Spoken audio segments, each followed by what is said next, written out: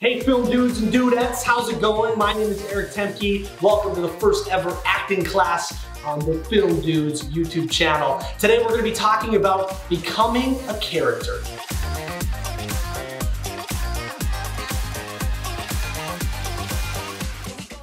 Now, what does becoming a character mean? Maybe you're new to acting, maybe you're looking at, you're an adult and you're looking at maybe picking up some skills. Becoming a character is the 101 of acting. You're becoming someone different. I've been anywhere from like a cannibal in a movie to a person who gets hypnotized to a person who's just a goofball in one of the films that we've made through ND Strong's YouTube channel. So when it comes to your own personal projects, whatever you're doing, maybe it's theater, maybe it's film, be creative. Try to be somebody else for a certain amount of time. Try to speak with an accent. Maybe try to replicate something you saw on TV and see how it works around your friends. The better the character, the more believable the film, and the audience that's watching it, the more they're gonna enjoy it. So it's your goal as an actor and even as a director to make people and the actors who are being the characters in the production be the characters in the production. Much easier said than done. We're gonna go over some techniques in the future videos, so stay tuned next week as we're gonna release the next one, or if you're watching the series now,